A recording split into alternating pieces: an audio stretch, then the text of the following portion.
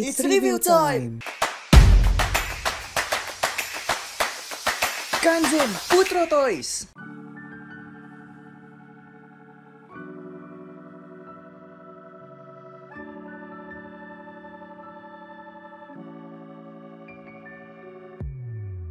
Selamat pagi, siang, sore, dan malam. Selamat datang di Putro Toys. Kali ini kita akan mereview mini play dari Six Ranger-nya Geki Ranger, yaitu mini play Saidai-O yang rilis tahun 2007. Nah, si mini play Saidai-O ini dia motifnya itu eh, semacam badak dan memakai armor juga. Dan yang pasti ini asli karena ada badaknya. Dan mini plus IDO ini sebenarnya juga banyak kekurangannya sih. Ya, jadi langsung aja kita review aja kali ya. Ini dia tampilan dekat dari Saidai-nya dan ya bisa kalian lihat sendiri punya saya ini sudah saya repaint. Untuk yang belum di repaint itu seperti ini. Kayak gini.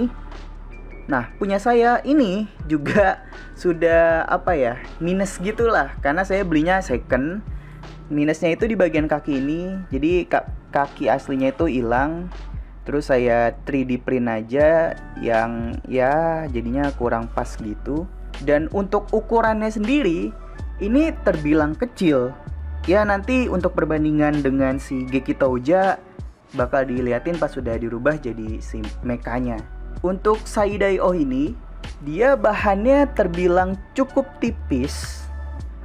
Ya maklum lah ya karena mini plat tahun 2007 gitu. Dan dia mini plat mungkin kayaknya mini plat pertama sih yang menggunakan semacam plastik injection mungkin kayak semacam di tanduk kayak ini ini dia bahan plastiknya tuh beda kayak di, ba- di badan ya dan juga si tamengnya ini dia juga bahannya beda gitu. Nanti akan diperjelas lagi pas udah jadi robotnya aja. Nah, langsung aja kita ubah ke mode robotnya. Yang pertama kita harus melepas dulu si tamengnya di belakang ini. Terus di bagian kakinya juga kita lepas. Dua-duanya seperti ini. Kemudian untuk bagian kakinya ini kita luruskan seperti ini. Dan kita putar seperti ini. Ininya kita naikkan dulu, baru kita putar seperti ini. Terus kita tutup lagi.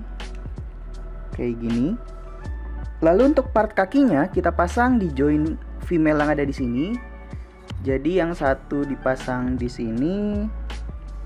Yang satunya lagi dipasang di sini. Nah, jadinya kayak gini.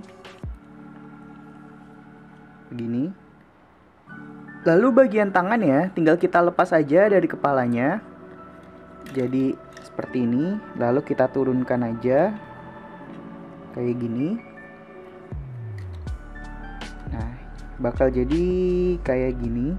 Untuk shieldnya tinggal kita pasang aja di sini. Jadi kayak gini. Yang terakhir untuk bagian kepalanya atau mukanya tinggal kita buka seperti ini. Nah, kita buka menjadi seperti ini kayak gini. Kanzen Saidai-O. Wah, ini nih yang sebenarnya bagus tapi sangat banyak kekurangannya. Kenapa saya bilang gitu? Karena untuk di DX-nya itu seperti ini untuk eh, ukurannya. Tapi untuk mini pla ini perbandingan sama Geki Touja seperti ini. jatuhnya malah lebih pendek gitu. Padahal kan harusnya si Saidao ini lebih gede.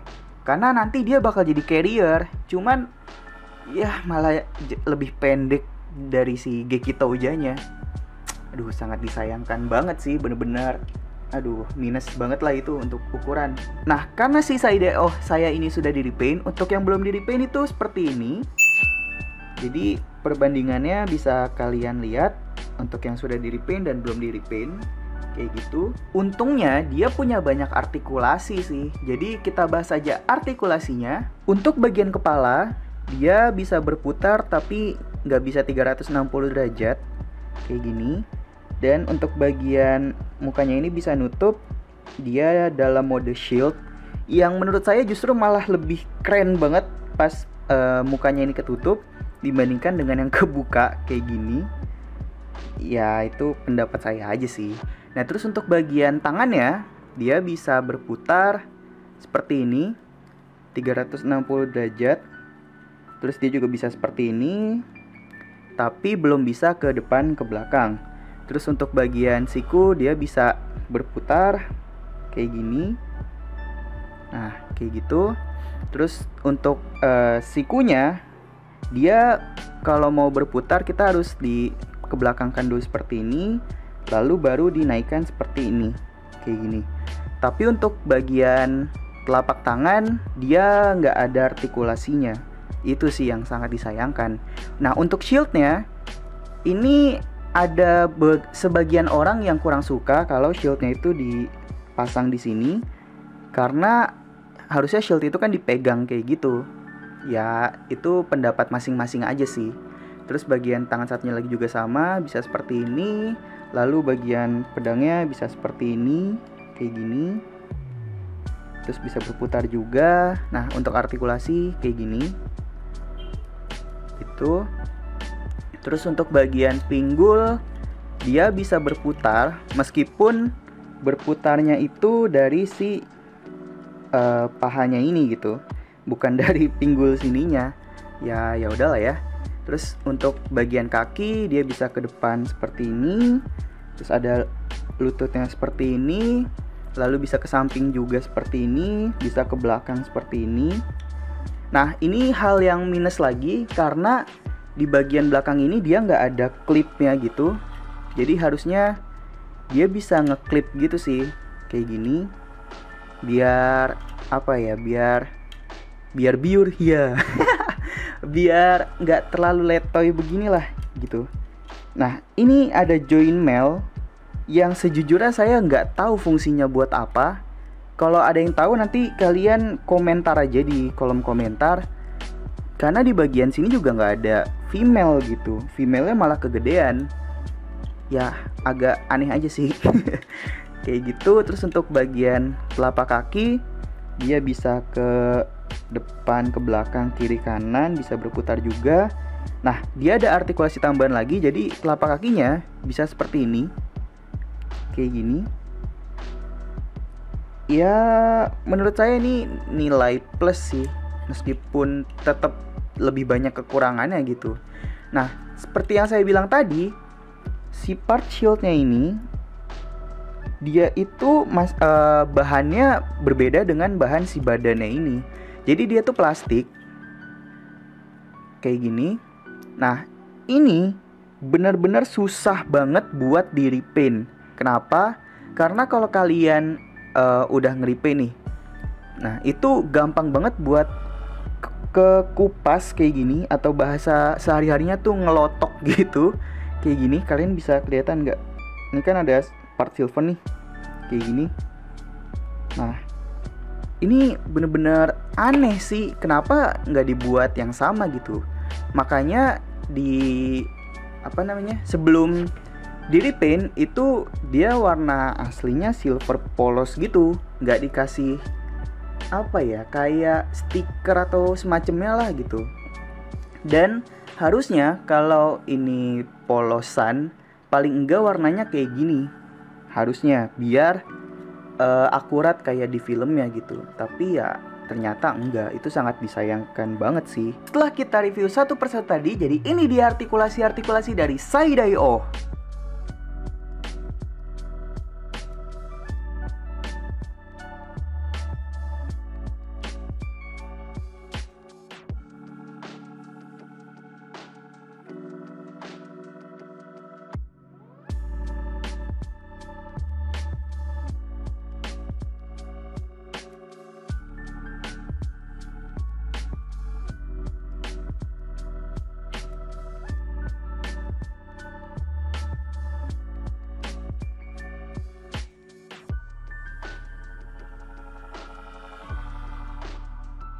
Sekian review Mini Plus Saidai-O untuk review penggabungan Ultimate Gatai dari Geki Ranger ini. Itu akan dibahas di review Geki Wolf. Karena ya setelah ini kita bakal nge-review Geki Wolf. Saya udah ada si Geki Wolfnya. Biar durasinya lebih panjang aja gitu.